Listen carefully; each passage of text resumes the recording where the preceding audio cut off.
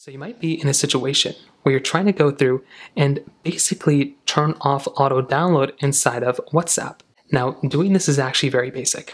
To get started, what you're going to want to do is you want to open up the WhatsApp application and you want to make your way over into your profile settings icon, which is in the bottom right. So tap into the bottom right right here and you will come into this page.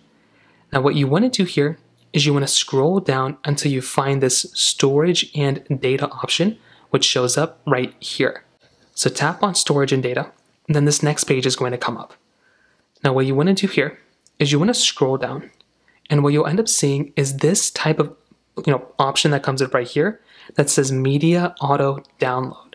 So what's going to happen is it's going to show you all these different types of toggles here. It's going to show you photos, audio, video, documents you can tap onto these particular options here and it will show you some configurations where you're going to be able to go through and basically change out your particular layout.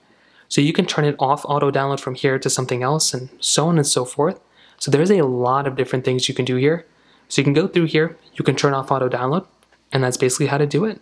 If you have any other thoughts or questions, please let me know in the comment section below. Hit the like button, that would mean so much, but definitely hit that subscribe button. More importantly than everything else, I love every single one of you guys. Hopefully I'll catch you guys in the next video. Peace out, till.